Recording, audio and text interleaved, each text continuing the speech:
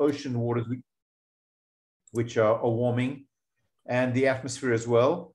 Uh, this rate of warming that we have today uh, may sound outlandish, but it's equivalent to exploding one nuclear uh, Hiroshima bomb every second of the day in the atmosphere. That's the added energy to the system because of increasing greenhouse gases, which are trapping in the sun's energy and causing the warming of the oceans and the, and the earth. So this is a huge amount of energy needed to cause the earth's temperature to go up by one, two, three degrees. And this is also what's driving all the severe weather that we're seeing and the strange weather around the planet. We'll talk about a little bit later. Now, where's, where is this warming happening around the world? So here we can see the spatial distribution for uh, the 1980s, the 1990s, the 2000s, 2010s. What we're seeing here is actually the difference between normal. So it's what the delta. So the numbers here you can see are uh, plus minus. We've got uh, the, the blues are negative numbers, in the yellows and reds positive. So areas which are blue are actually colder than this reference period, period at the bottom, 1951 to 80. And the oranges and the reds are warmer.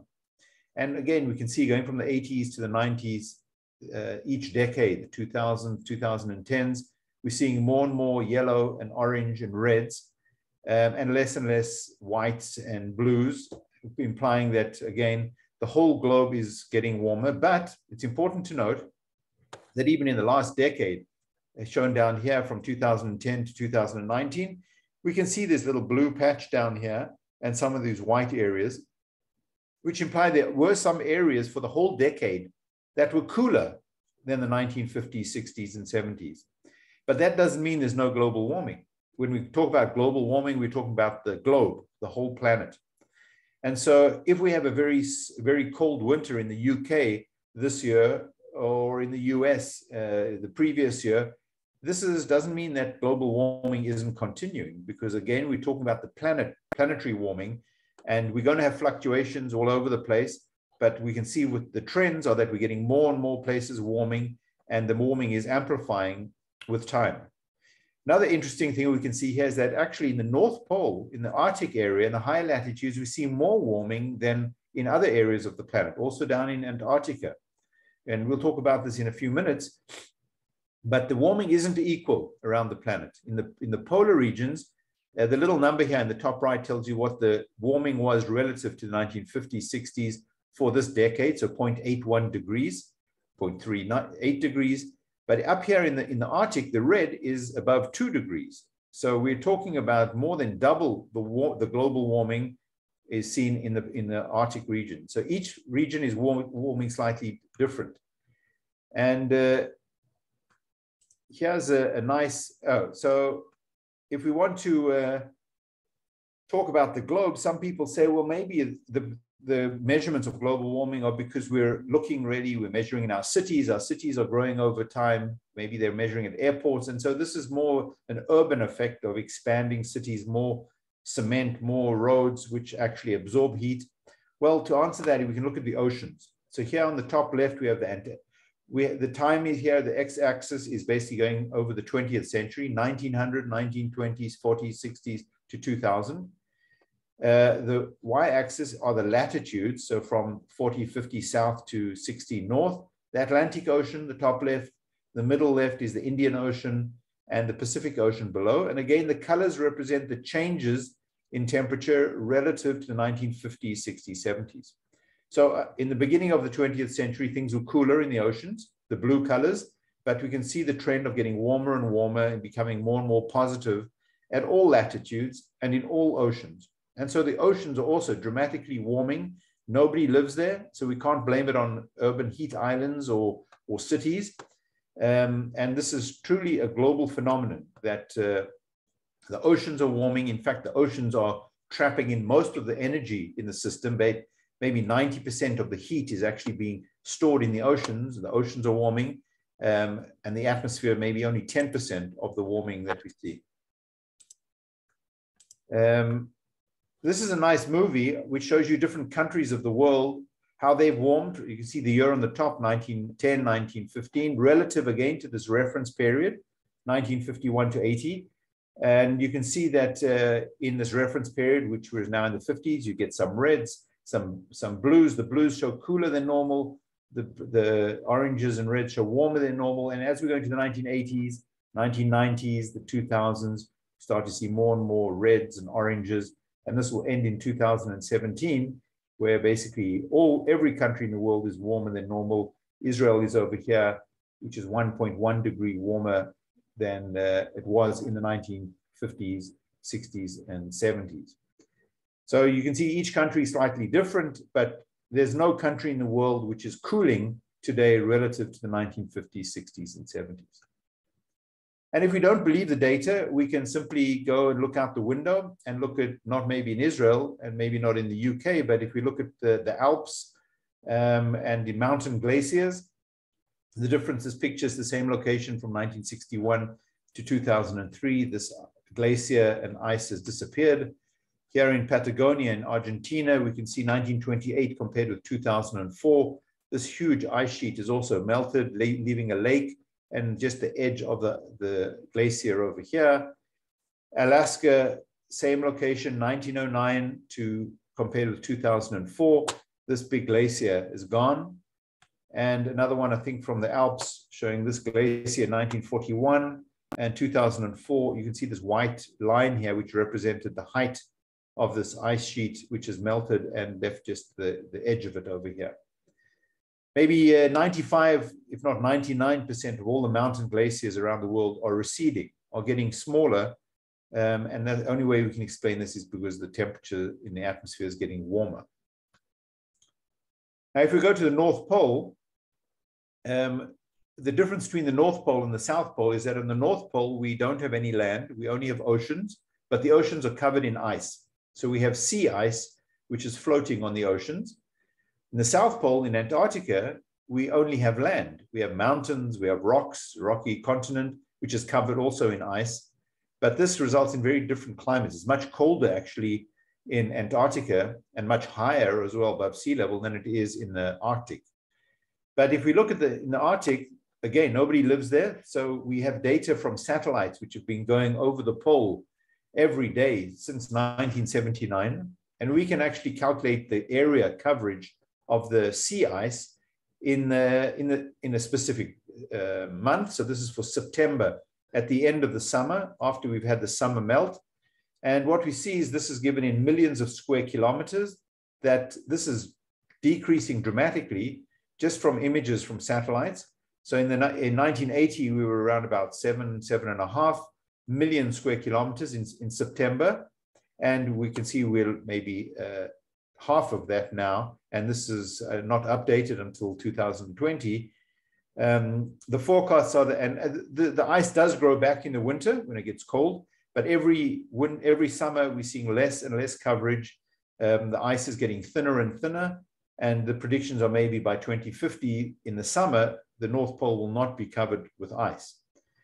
Um, why is this a, a, big deal? Well, because if we look at the map where we have the ice, um, if this is the coverage with the red line in the extent of the summer ice in, in the average of 1979 to 2000, this is the situation in, 19, in 2007 and 2012. What happens when the ice melts in the summer, we expose the very dark ocean underneath it and land as well if it's over the land.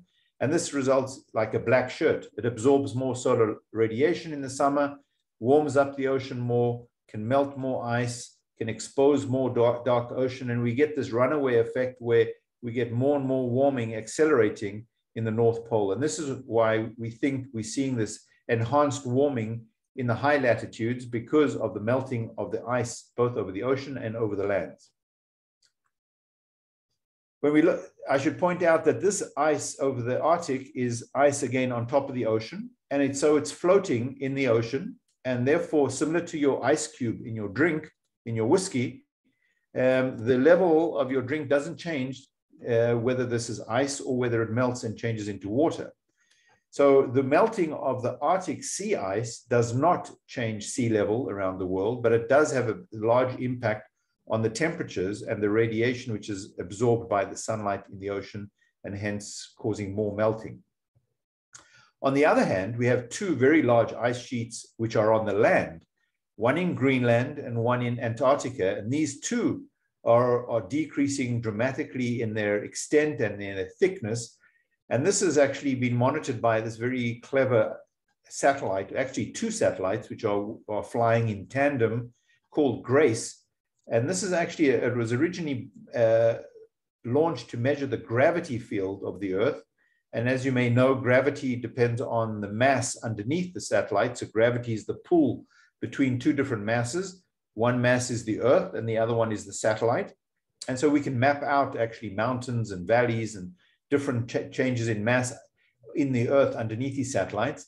But then they discover that if the ice sheets are melting, they're losing mass. And so we can actually convert the gravity into changes in mass over time. So after the launch in 2002, we can see here the loss in billions of tons of water, which have been lost from the Greenland ice sheet, which will keep going down, about 286 billion tons every year of water, which are melting, changing from ice to water, and then are flowing basically to the oceans and causing sea level rise. Similar in Antarctica, we're seeing a dramatic drop in the amount of ice. I should point out that the thickness of the ice in, in Greenland is about three kilometers thick. And in Antarctica, about four kilometers in the center of the South Pole. So there's a lot of ice there. If all that ice had to melt, which hopefully it won't melt uh, and will take a very long time, thousands, if not longer, thousands of years. Uh, but there's enough water on the land to cause all of the sea level around the whole planet to go up by 70 meters. 70 meters would basically submerge all the cities around the world, but we don't expect that to happen. Um, the estimates today are that by the end of the century, uh, it's likely to be one meter, but I'll show you in a few minutes that even one meter can be significant for some countries. This is what it looks like in Greenland. If you go there in the summer, all of this is ice. You can see some people standing here, and you get these melt ponds, which basically drill these waterfalls through the ice, and they can go for two kilometers, the waterfall down to the bedrock, and then flow to the ocean and again, any of the ice which melts and, and basically flows into the ocean, these, this melting does have a direct effect on sea level rise. So we also have satellites now which can actually measure the sea level rise. They actually send, it's like a radar, they send a beam out like the cops who try to check your speed when you're driving past them. They send a beam which reflects off your car. Well, here we send a beam down to reflect off the ocean and we, we calculate the time that it comes back. And so after many, many measurements, we can actually calculate the height of the ocean surface above a certain reference level. And here you can see again from the 1990s, the increase in sea level globally. Um, and the different colors are just different satellites because the satellite has a lifetime of five or six years, and then we have to put a new one up there. And the slope of this curve is, seems quite small. It's only three millimeters per year, the rise in sea level but that means it's three centimeters every decade, and you can extrapolate out to the future to say 100 years. Um, most of the rise in sea level actually until today is because of the warming of the oceans, which simply take up a larger volume. Warm water expands. But from now onwards, it's likely that a big part will be also the melting of the ice sheets. So what's causing this warming? So we need to talk a little bit about, um, about the greenhouse effect. So you've probably heard about the greenhouse effect. It's not the, an ideal comparison, but in a greenhouse, we have basically uh, a structure which has got windows, either made out of glass or plastic, which allow most of the sunlight to come in. But the heat, which is then generated inside, uh, doesn't manage, doesn't leave very easily unless we open the windows. And therefore, it heats up inside. You may also have noticed if you park your car outside in a shopping mall on a cold, wintry day, but a sunny day, when you come back to the car, it's nice and warm inside. That's also the greenhouse effect. Well, in the Earth's atmosphere, the Earth has an atmosphere, and the atmosphere acts kind of like the windows of the greenhouse.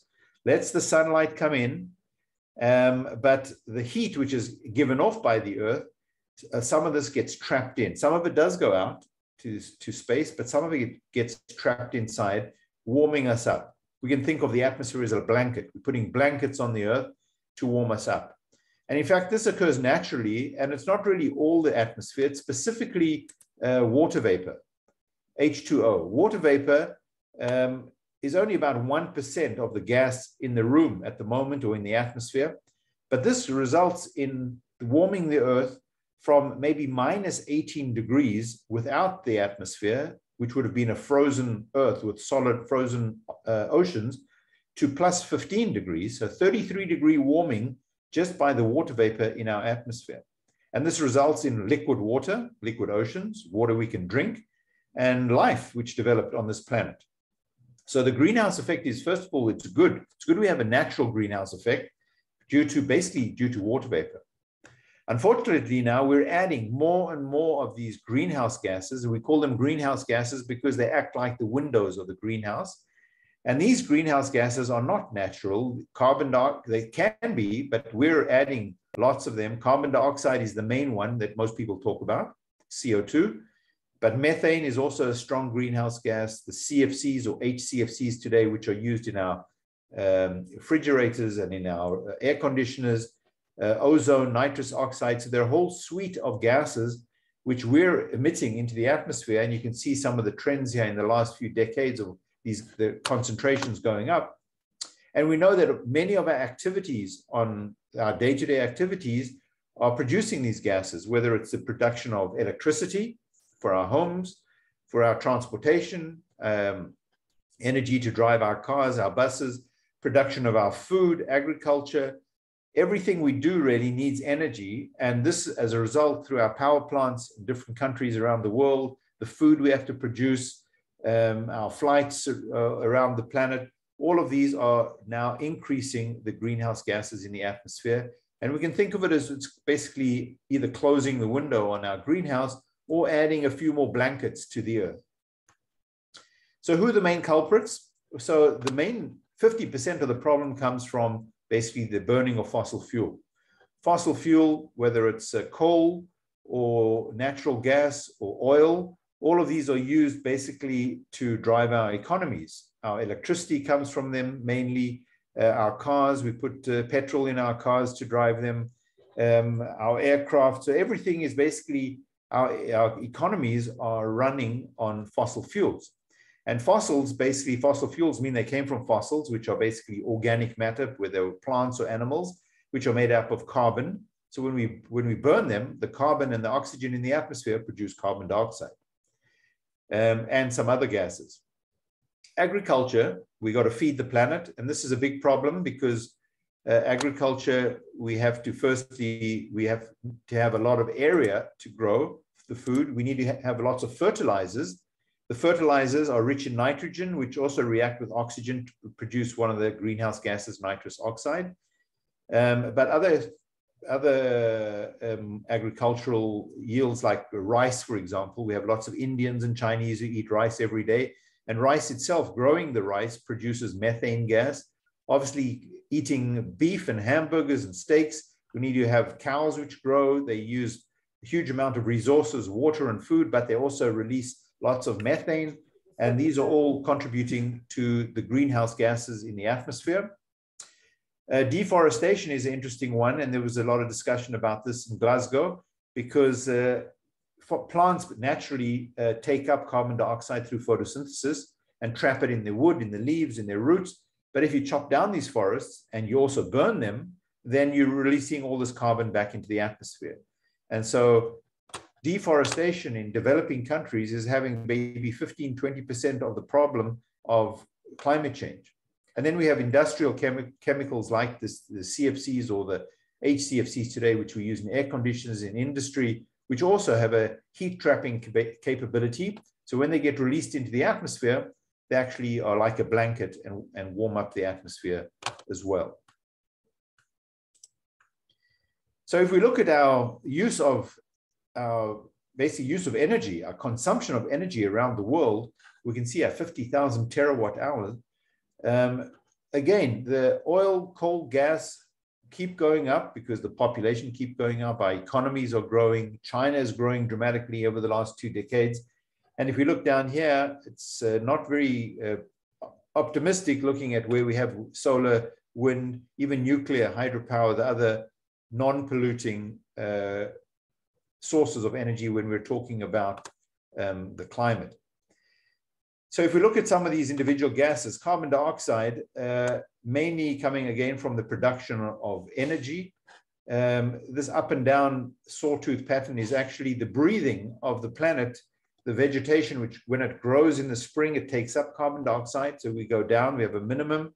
And at the end of the spring and in the fall, when things start to decay, the leaves fall off the tree, then the carbon dioxide goes back into the atmosphere. So the red up and downs are a natural cycle, but the blue line shows the overall increase, which is happening over time.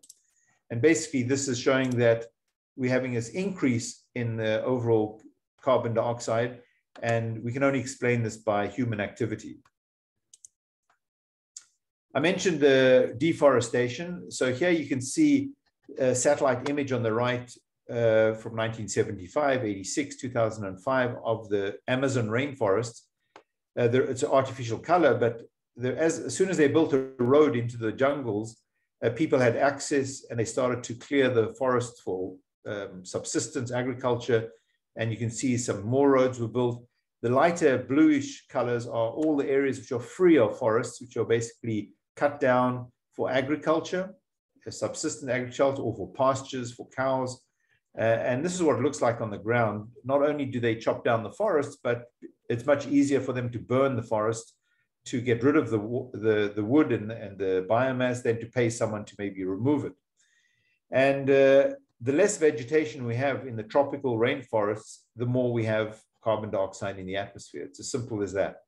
So as we have less and less vegetation on the planet, it means also a contribution of carbon dioxide and a contribution to the, the global warming in the 1940s, 50s, uh, the burning of fossil fuel and this effect of the changing of the biosphere were more or less equal.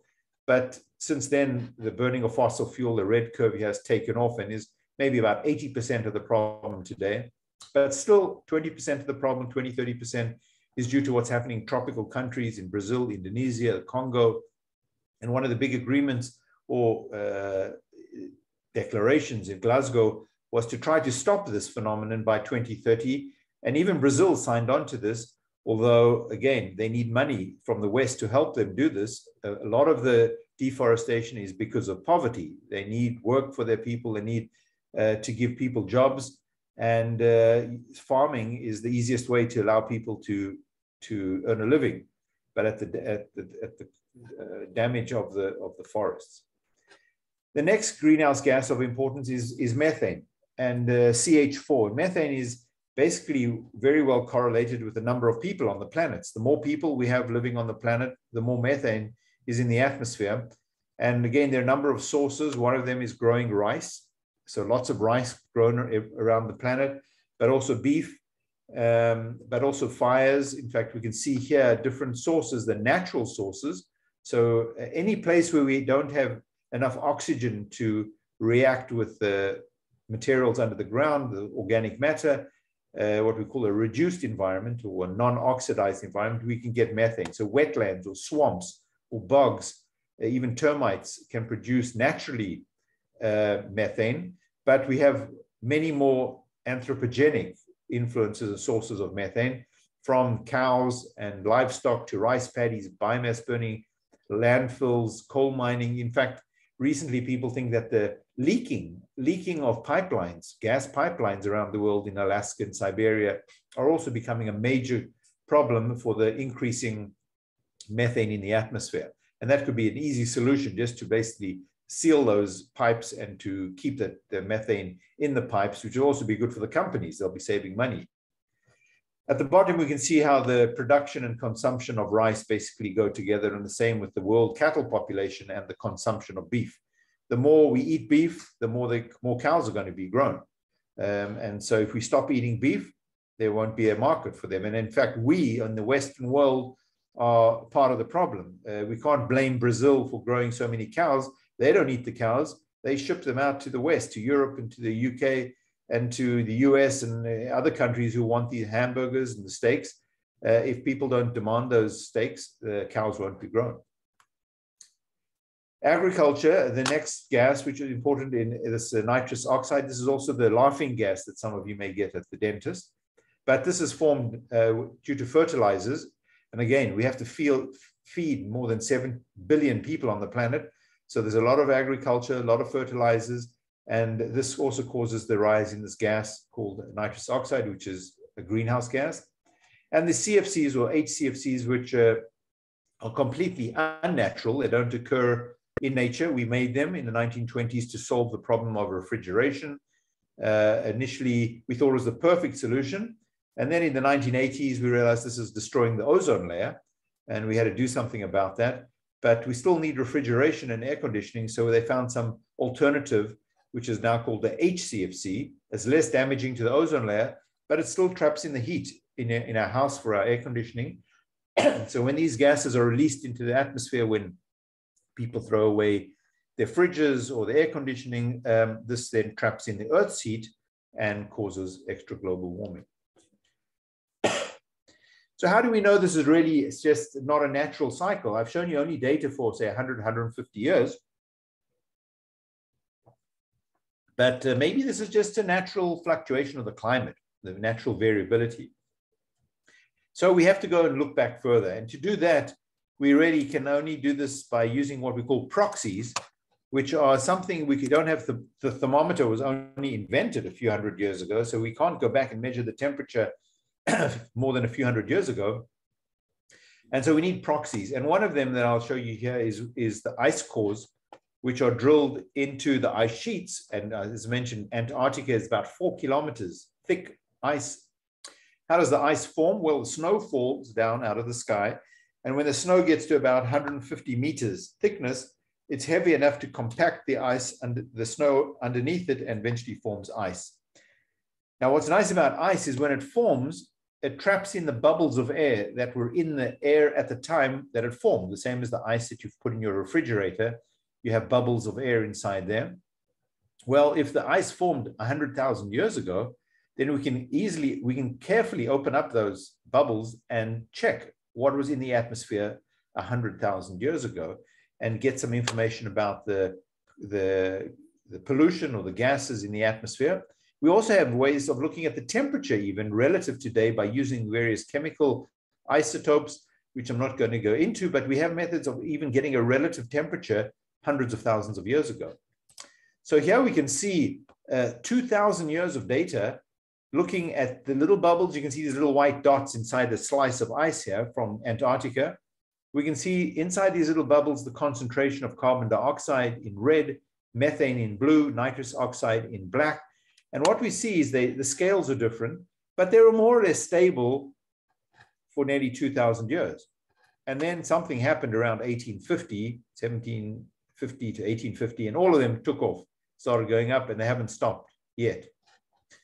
Um, we can go 10,000 years back. So here we have the zero is today. Let's go 10,000 back, 10,000 years back in time, looking at these little bubbles in the in the ice core. On the top, we can see carbon dioxide, which has gone up. We can just see it was all of these were fairly stable. The different colors are different places where we get the data, different ice cores, but fairly stable over 10,000 years. And then a boom, it just goes up by nearly 40%. The methane was also fairly stable, and then a nearly 200% increase over, say, 200 years, and nitrous oxide as well nothing natural happened on planet Earth that we know of at this period to cause this dramatic increase. If you speak to climate deniers or skeptics, nobody can tell you why we had such a dramatic increase in greenhouse gases naturally. Nothing happened in the sun, in the oceans, no volcanoes.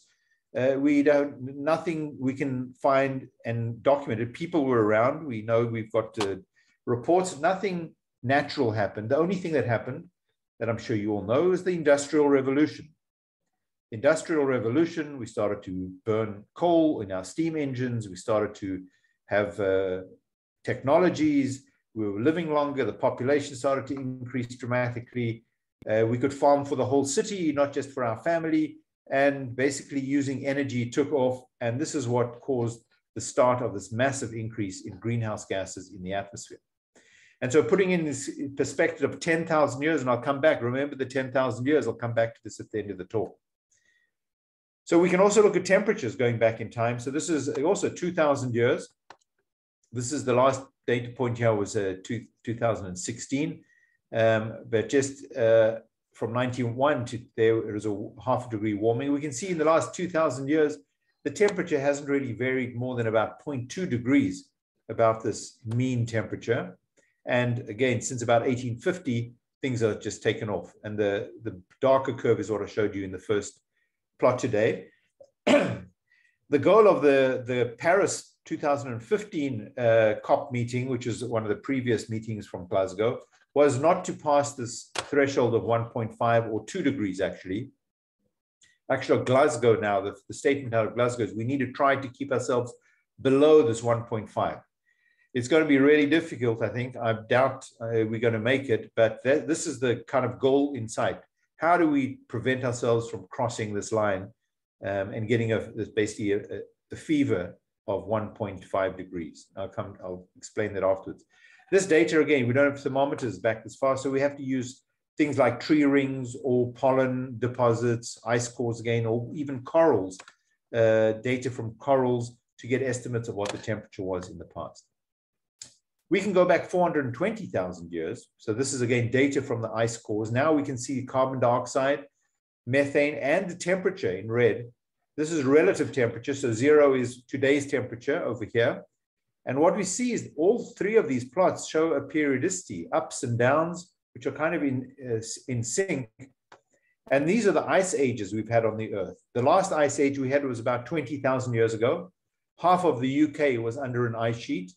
And the whole of Scandinavia, parts of Europe, the whole of Canada, down to the Great Lakes were under an ice sheet. The sea level went down 100 meters because we had so much ice on the land. So 20,000 years ago, uh, it was about four degrees colder than today.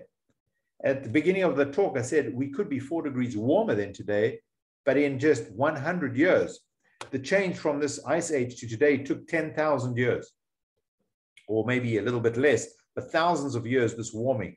So what we're seeing today is truly uh, anomalous. And if we put this in perspective, this is what's happening today although the scale here is very different. We're talking about here 150 years, where every tick here is 10,000 years. But to put it in perspective, we can see that methane basically on the same scale is off the charts. Uh, in the last uh, 420,000 years, the highest value of methane was 800, and we're somewhere up here at 1,800. And if we look at carbon dioxide, the highest values were about 300, 300 of these units, and we're now already at 420. Ah, and here we can put in uh, 800 years, 800,000 years of data from the ice cores in Antarctica. And here we're just looking at uh, carbon dioxide in red and sorry, in blue and the methane in red without the temperature. But here too, we can see these glacial cycles. Below the minimum are when we had ice ages on, on planet Earth.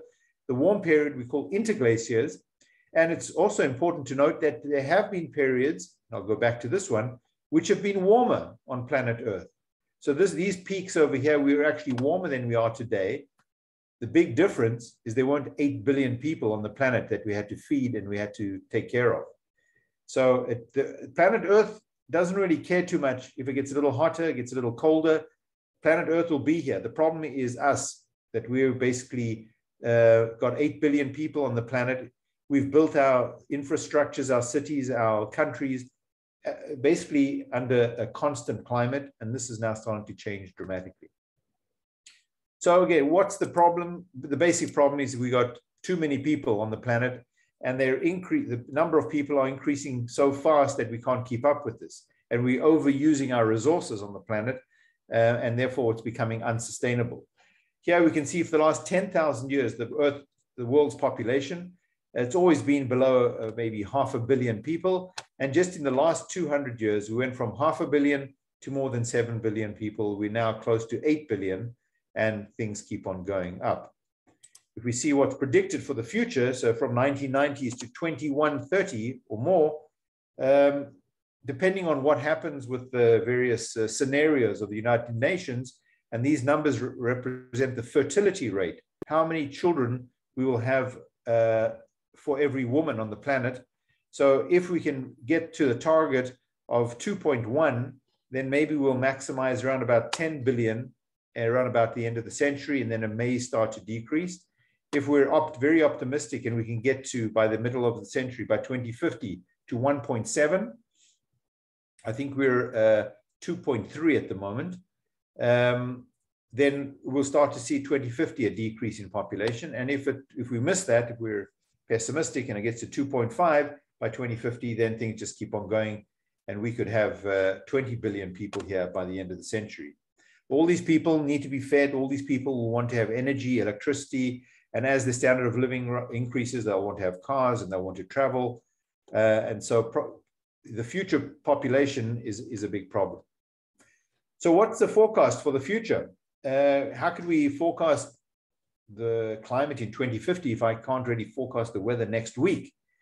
Well, the climate is the average situation in the, of the weather. So the weather is basically the noise. It's very difficult to predict the noise in a system, but the average, the mean, is easier. So I can predict, for example, in Israel that in August, in August uh, 2026, we will not have any rain in Israel. And that's a fairly good forecast because that's the climate. But I cannot tell you what the weather is going to be on the 5th of August, what the temperature will be. So we try to do the same with these big computer models, extremely complicated computer models, which we try to simulate everything happening in the atmosphere, whether it's clouds, rain, uh, interaction of sunlight with the greenhouse gases, with particles, the surface, whether we have vegetation, types of vegetation, whether that's covered in ice or snow. In the oceans, we have ocean currents which transport heat and, and moisture uh, by evaporation. We have sea ice, we have land ice. Extremely complicated. And if we want to predict what will happen in the future, this takes a huge amount of computer power. And therefore, there are only maybe 30 groups around the world, including the UK Met Office, uh, that have these extremely uh, complicated and uh, computer intensive models. But we use these in the IPCC report that I mentioned, and the last one came out in August. And these then can give us various scenarios into the future.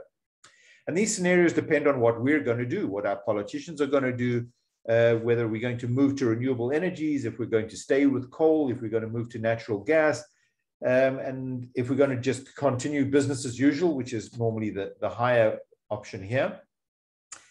And again, the, the, the, Glasgow Agreement says we should try to get to not past this 1.5 and definitely not past the 2.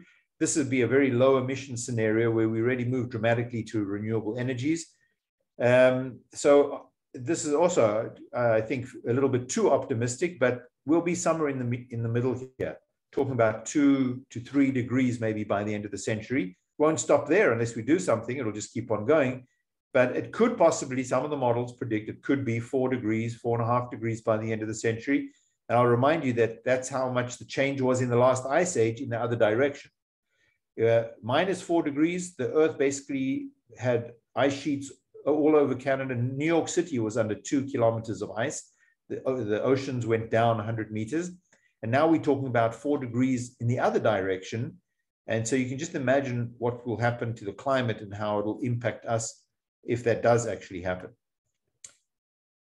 Now, again, uh, uh, one or two degrees may not seem a lot to people, but we have to look at the distribution of the weather. Again, we say that the, the climate is the average. So if we take this as the temperature in London, we have an average temperature throughout the year, but we have cold days and we also have warm days in the, in the summer. You have a distribution.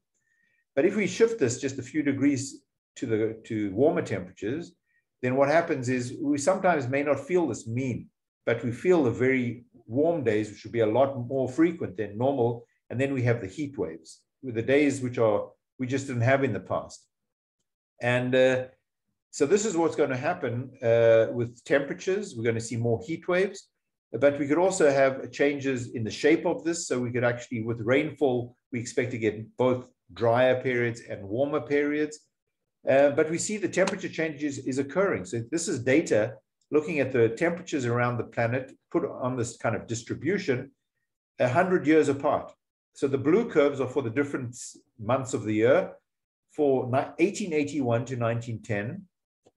And the orange uh, curves are for 1981 to 2010, relative again to this reference, 1950s, 60s, and 70s. So we see that the temperatures around the whole planet have been shifting by about one degree in all the different seasons. And the shape has also been changing. The shape of these curves have been changing, some of them becoming broader. And in the last few years, you can see 2016, 17, these are the average world temperatures. We can see we're all the way out on the right-hand side of these distribution, breaking the records nearly every year, the world temperature. So things are definitely changed over the last 100 years, and we keep changing and we keep going in, in the wrong direction. Some of you may remember the heat wave in Europe. And so again, a few degrees warming, you can see the impacts on, on people's lives. This is the distribution of temperature in Switzerland from 1863 to 2003. Every line is one year. A nice average summer temperature around about 17 degrees. That's nice and cool, very cool. In Israel, it's probably cool even in, in the UK for the summer. And this is what happened, the average temperature in 2003 a five and a half degree warming of the average, but still 22 and a half degrees is nice, uh, nice uh, average temperature for the summer.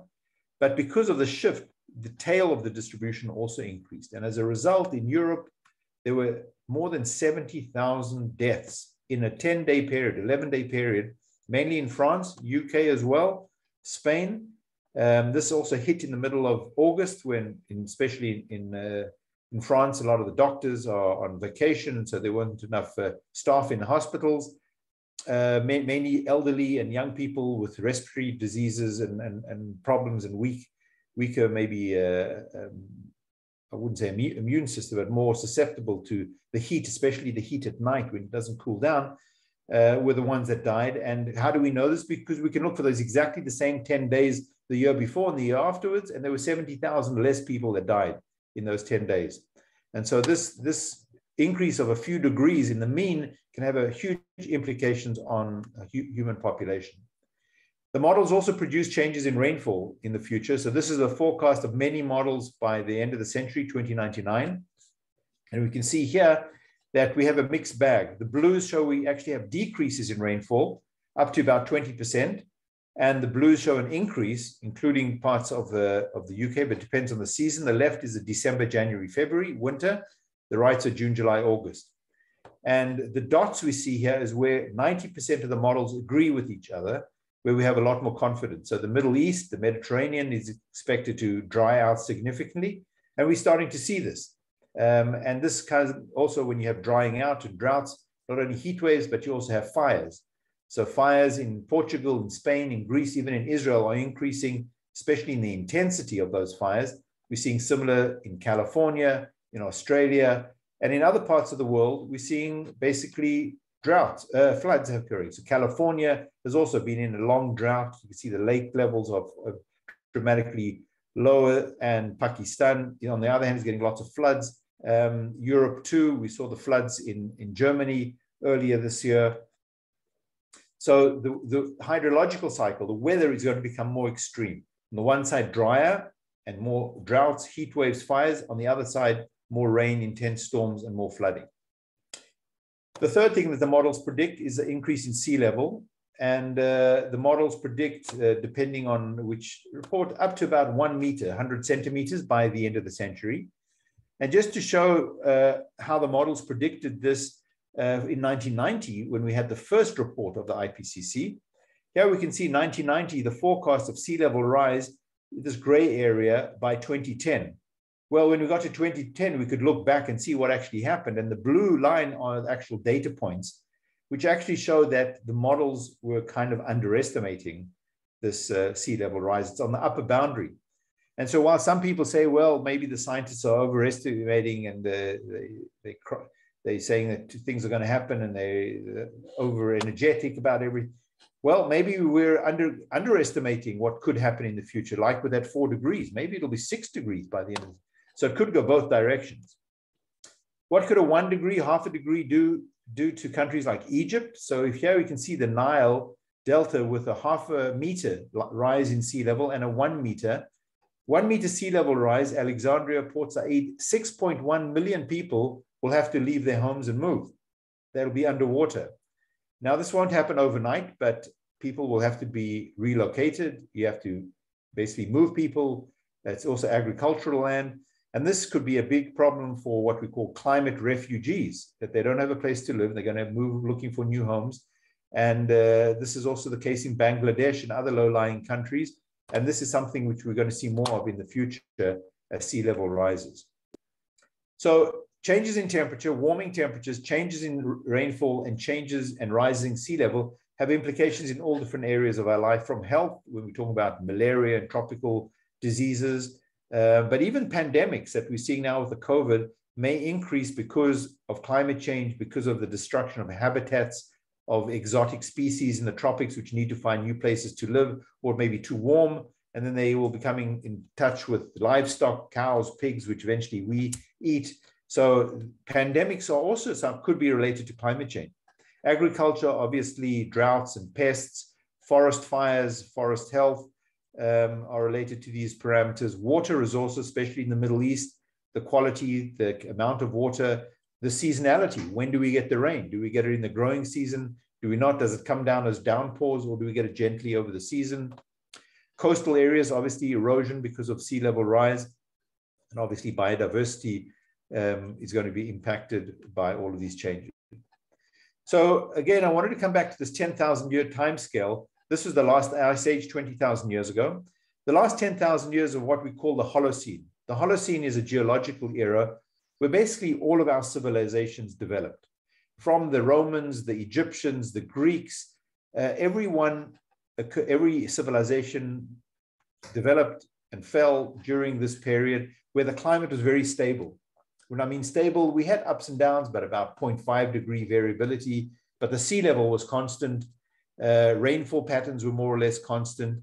And therefore, we could develop our countries, our cities, our infrastructures um, based on this very constant climate. But we're now leaving this period and we don't really know. We're doing an experiment with the Earth going up. And as I mentioned, it could be up to four and a half degrees in 100 years. The scales here are very different now. Uh, we're talking about here hundreds of thousands of years. This is 100 years.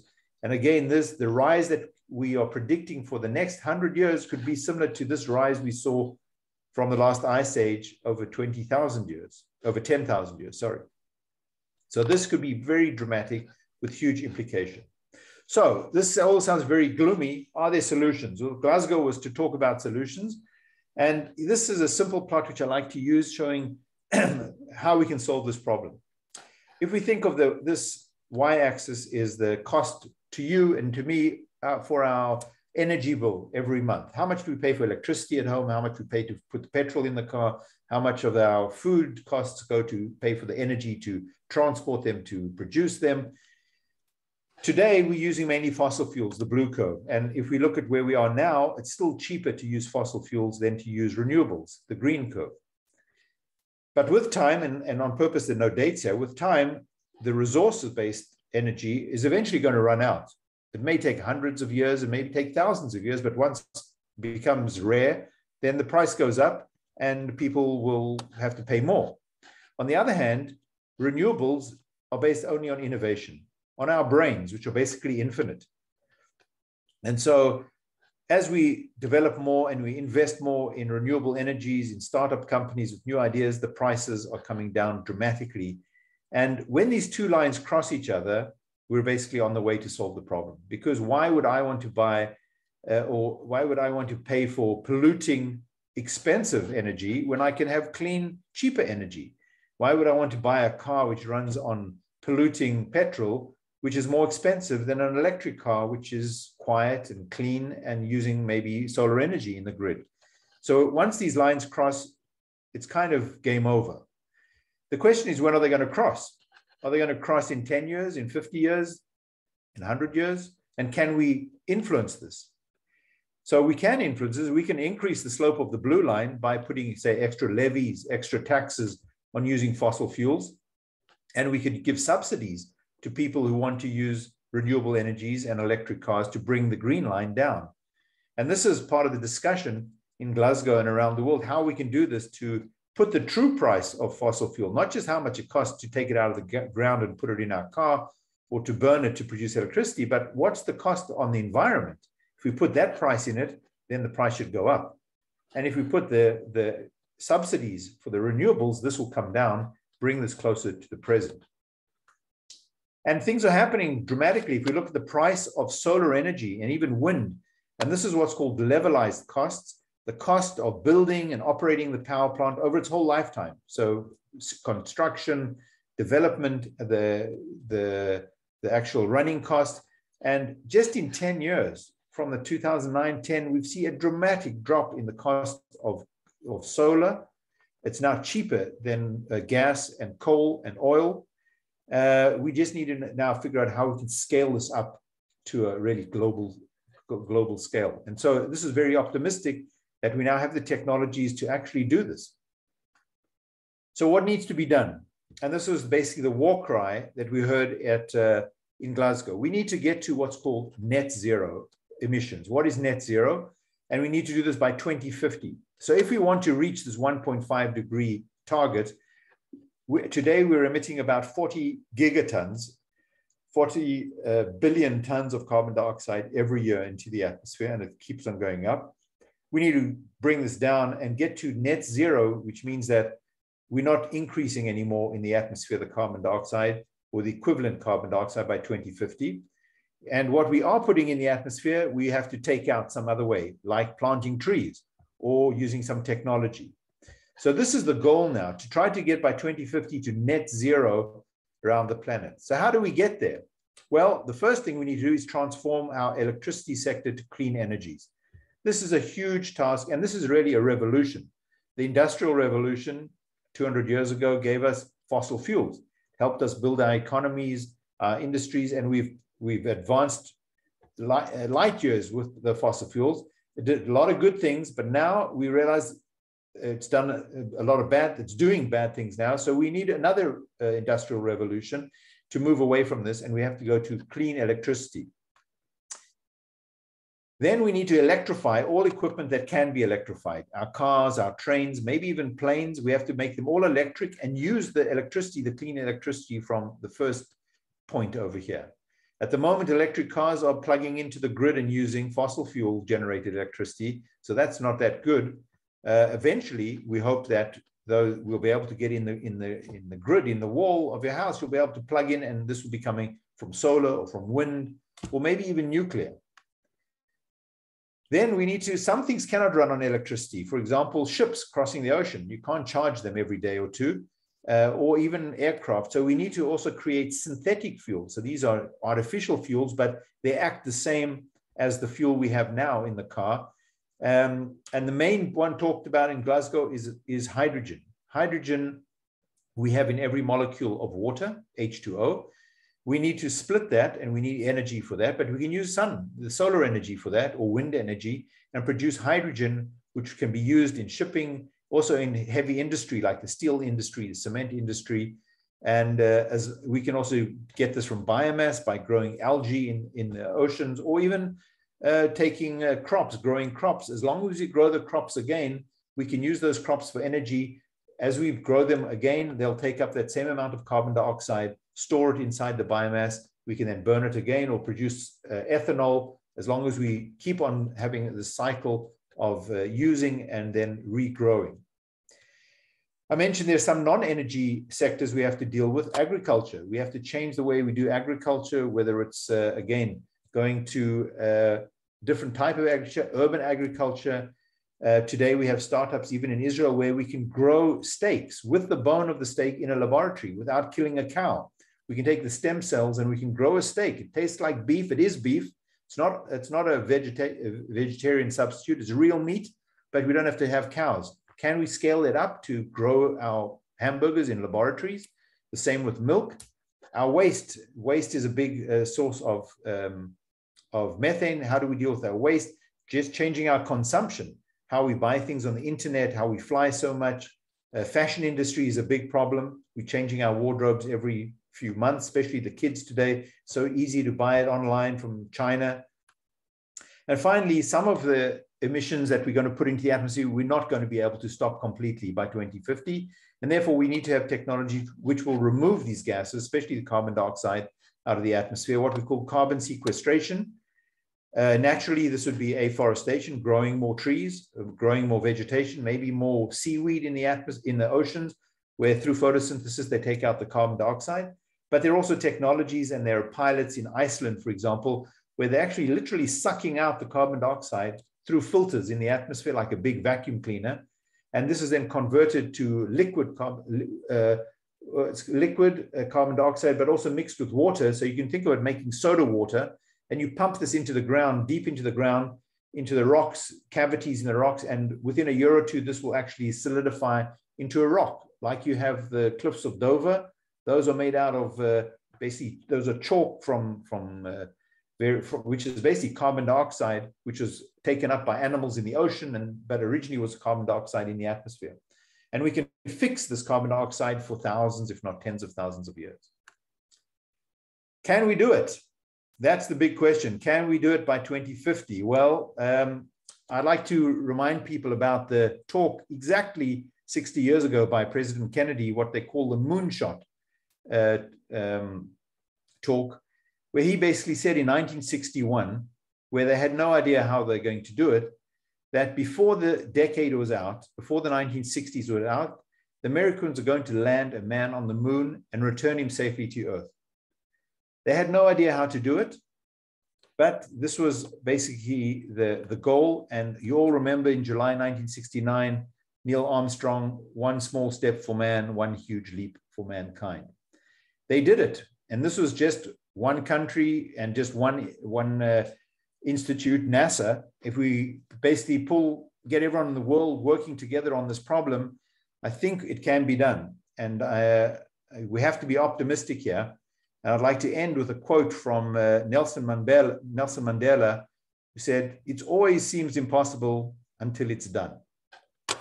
Thank you very much.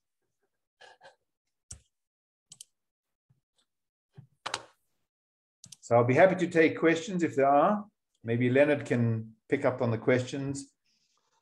Um, thank you very much. I have I have to say I have not heard as good a description uh, of what of what the issues are and how well presented they are. Let, let me start off with a question, and then I'll then we'll go into. I've got a, a, a, some lining up one. Well, one of the one of the things that really worries me is the white line, the white bit that showed that uh, that the Atlantic has has uh, has not warmed up, and because the consequence of that is that the Gulf Stream and there's issues that the Gulf Stream might go into, into reverse.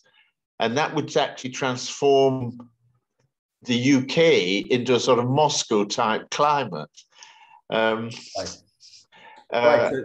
So, so, there's a, there was even a movie made about that. You may have seen the, the Day After Tomorrow, which is a Hollywood movie where everything happened in two weeks. But basically, the, the Gulf Stream it's connected to what we call the ocean conveyor belt. So it takes the warm water up to Iceland, which then uh, the air is warm and that affects the climate in the UK. You're basically on the same latitude as Canada, but your climate is very different. And because of the ocean. Now, because of the melting of the ice in Greenland and putting fresh water, sweet water into the ocean, this can affect that circulation. And some people think that this could either stop or reverse the circulation even. And if it stops, that means that actually global warming by melting the ice will actually cool the UK. But again, the planet will still continue warming, but the yes. UK could get much colder than it is today. So that we have sensors in the oceans, in the Atlantic all the time measuring this. And there's a big debate whether things are slowing down because these are very slow currents in the deep ocean talking about things can take a thousand years to do the whole uh, loop around, but uh, it could happen. And it may have happened in the past. We don't know. We don't have so much evidence, but uh, that would have maybe an impact on the UK and Europe. Uh, but it wouldn't. It may not. May have a warming effect somewhere else on the planet by not taking uh, yes cold water somewhere else. Thank you. Thank you very much. Um, Karen has a question. Karen, do you do you want to do you want to ask it? Um, unmute yourself. If not, I will ask ask it, uh, or I'll ask it on her on her behalf. Um, okay. yeah, Karen, want, can you unmute yourself, Karen? If not, I. Her question is: If we change our behaviour the consumption, etc., would the Earth get cooler or would it stay in a status quo? No, so well, so we have to work both bottom up. The Public is important, the behavior, and also top down. But definitely, we can fix the, the situation. So basically, by changing our behavior and by moving to renewable energies, we'll eventually get to net zero. But then we want to get to negative zero, negative Uh, emissions, so that we keep taking out more carbon dioxide and eventually return back to the climate we were decades ago so we can definitely return back to what we were before if we take those greenhouse gases out of the atmosphere. The only thing that we may be stuck with is sea level rise. At sea level, in order to reduce the sea levels, we first have to produce lots of snow and produce ice sheets, which take a long time. And for that, we also have to cool the climate. And so whatever the sea level rise we see, we may have to live with that. But the temperatures and the changes in rainfall, we can reverse that and go back to what we had before if we return to the levels of the greenhouse gases we had in the 50s, 60s, and before that. Thank you. Um, I don't care, Karen, if you are there, if you want to. Uh, right, let's. We've got um, uh, some more questions. A question from Hugh Marco. Um, can you unmute, Hugh? You, you need to. Here we go. Video. video? Right. Uh, um, video. Yeah, we can hear you, Hugh. Right. Hi there. It's actually Hugh Marco's wife here, Anne. This has been absolutely fascinating. Um, just trying to think of, of things that we can individually do to, to, to help with this crisis. Um, to what extent is it helpful to become a vegan or at least vegetarian? Well, I, uh, I think uh, the biggest issue is really energy use uh, to have an impact. But uh, I don't know about vegan, but but having less beef, beef is a big problem. I mean, beef, and uh, uh, so some people want to become vegetarian. I don't like to tell people not to do something. I'd say maybe do a little bit less. So instead of having a hamburger every week, you can have it maybe once a month or a steak. But so vegan um, it could help, but again, it helps only on the agricultural side. The biggest problem really is the energy, uh, use of energy, whether it's uh, for lighting our homes or our industries or our cars. And there, there are lots of small things we could do that if everyone did them, it would help.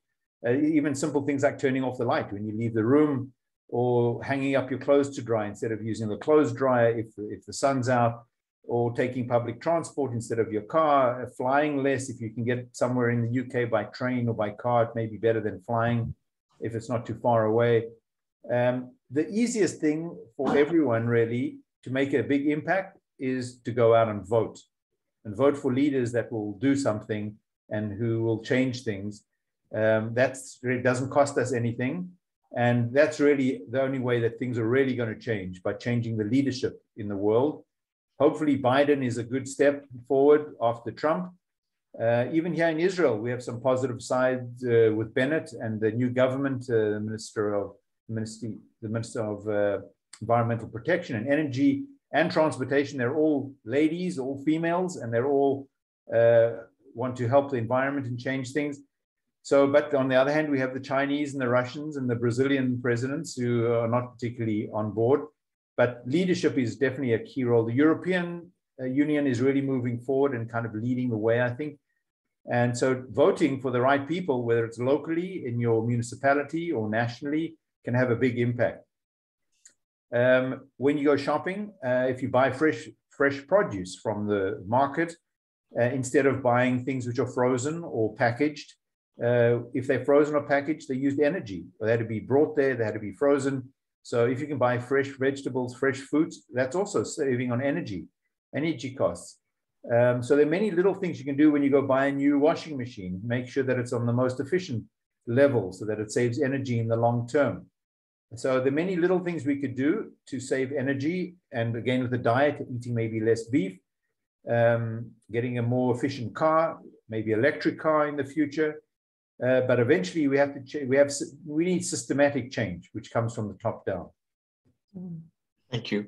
Thank you. Um, Babs, uh, I'll ask you to, to unmute. Uh, can you unmute? Yes. Can you unmute? should press the blue. Yeah, just you, there Yes. you go. Nope, I've done the wrong thing. Wait a minute. I think you can just hold the space bar down and we'll unmute. Yes, if you hold the space bar. Yeah, if you hold it, if you're not on an There iPad, you hold the space bar down. Yeah. Okay, we can hear you now. Yes. Um, well, uh, my question is about. You, you've talked a lot about we and about cars and what we can do with energy, but that relates to to an adult and uh, you know to to to us adults. But I'm just wondering how you can drive young people coming through schools and and colleges, and is there going to be careers in in climate change? Because I, I still get very confused. I'm you know I'm still kind of it's such a wide and big thing climate change to me and i know we can do things as adults and and with families and and and and and tell our children this but what's going to drive young people to to actually um you know because they're going to be the driving force in the future to to make these changes how are they going to do it and Yeah. and will there be careers for them in climate change and and Yeah, what's well- and how are we well, going to do that I think it's already happening. If we see the protests in Glasgow and Greta uh, Thunberg from uh, Sweden, things have taken off in the last five years. The younger generation and the kids, even in Israel here, they protests all the time. They're very much aware that their future is in danger. And so they're really uh, part of the debate and part of pushing the decision makers ahead. And I think brought a lot of the awareness in the in the press out. And so they're doing a great job. Um, I definitely think they're going to be completely new jobs in the future that don't even exist today, that we don't even know about related to climate change. Just the whole renewable energy uh, sector going into whether solar or wind, these are going to expand dramatically in the future and going to need people, engineers, but uh, regulators. Um, businesses, for example, now there's what's called ESGs. Uh, businesses have to have some monitoring of their emissions and their greenhouse gases. So they need environmental consultants. They need every company is taking up new people consulted. They don't have to be scientists. They just have to know how to do the calculations and to collect the information. Um, again, the transportation sector is going to be changing to electric. You have to put in infrastructures for charging electric vehicles. Then we have a startup company in, in Tel Aviv, in Israel, which is now trying to charge through wireless underneath the road. As you drive over the road, your, your battery will be charged like your wireless. You don't have to carry your big battery. And uh, so these are new jobs which you didn't know that are going to, that would be around five years ago. And they say that uh, in 10 in 10 years time, there'll be jobs that we never dreamt of. So there's definitely going to be plenty of new jobs, but they, they may have to do, uh, invent those jobs because we don't even know what they're going to be in the future. But they'll definitely be related to, I think, the energy sector, the transportation sector, and the food sector, the uh, food technologies, um, how are we going to produce food more efficiently, more sustainable for, for the rest of the world. Um, the finance sector, that's also the banks and insurance agencies now are becoming aware of climate change. They're coming on board. It's going to impact them greatly as well because of natural hazards and other things which are being insured, but they can also be part of the solution. So also developing new economic models for countries, uh, how to invest in the long. So definitely there'll be plenty of jobs, I think. Um, but I think the younger generation is already on board. They're really very involved at the moment. Thank you. Um, Menachem, um, can I ask you to unmute? I think you were the first one for the question. Right, Uh, yes, I have unmuted. Can you hear me? Yes. Yes. Good. Uh, my question relates to electricity supply. Uh, because the affordable renewables at the moment are wind and solar. Both have a fluctuating supply for obvious reasons. And at present, the fluctuation is made up using gas turbines, which are fossil fuel devices. And my understanding is that at this point in time, we can achieve perhaps 40% renewables. If you go much above that, the whole electricity supply becomes unstable. I just wonder if you have a vision of how we get beyond this point. Obviously, it's a question of storage, but what sort of storage we're going to use and how we're going to do it. Yeah, so it's very interesting. Just on the news and in, in the TV in Israel here, just before I came on, uh, they, they were showing a new startup company in Israel, which is trying to solve this problem of storage. So storage is a big problem because, as you know, the sun only shines during the day, and the wind doesn't blow all the time, and we need electricity all the time. And uh, so it's not easy to to run an electricity company or your home if you're only getting power half of the day. So storage is a big issue. So this company firstly, so storage, basically people think of batteries, but batteries is a problem because lithium batteries also polluting when they end their lifetime. What do you do with it? Lithium is a resource. So the first thing people are talking about is hydrogen again. So hydrogen is a, a fuel which will be developed and can be de developed, say, in the middle of the day when we have a lot of solar, but we don't have a, a, a huge load from the public. They're not requesting a lot of energy. So actually, when we have the peak in the solar, we don't have the, the peak demand by the public. And so you can use this to produce hydrogen, which can be stored then in tanks and can be used at nighttime. But this Israeli company has got a new idea, which is uh, quite interesting, where they're basically producing compressed air. Like you can think of it as like a scuba diving tank, but big one. And they're basically using water, water and air. So basically solar or wind during the day uh, pumps water into a closed, big container underground, which has got air in it. So you basically, the water being pumped in is basically compressing that air and you're using solar energy for that.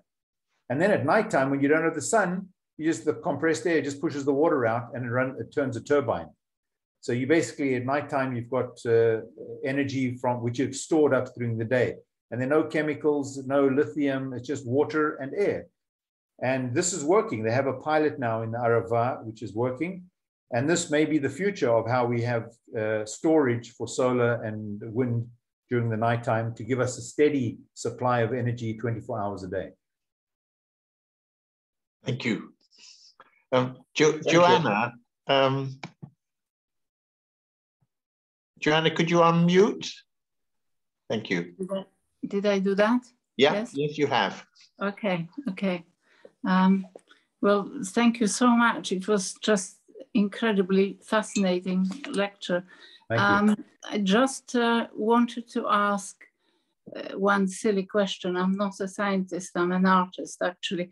But at 2011, in July, I was on Svalbard for a couple of weeks on uh, Spitsbergen.